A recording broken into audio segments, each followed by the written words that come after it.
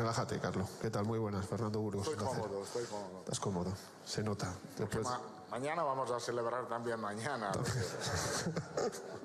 los 100 días de celebración que os lo merecéis. Eh, te quería preguntar por, aparte de Jude, de la plantilla, ¿quiénes son los, seguro que habrá más de uno, los dos, tres jugadores que más te han sorprendido por rendimiento y que tú en agosto ni esperabas?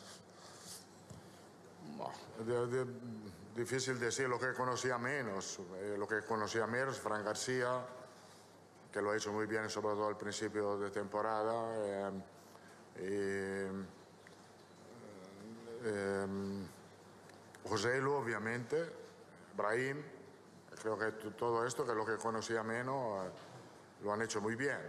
Y también creo, quiero decir que hay jugadores que podían aportar más si yo era capaz de darle más minutos, ¿no? Porque eh, Ceballos, por ejemplo, que está mostrando todas sus calidades en estos partidos, no ha tenido probablemente los minutos que merecía por varias razones, ¿no? Porque ha, ha- sido, ha estado lesionado tiempo, Arda es un otro que podía jugar más si no tenía las lesiones que ha tenido.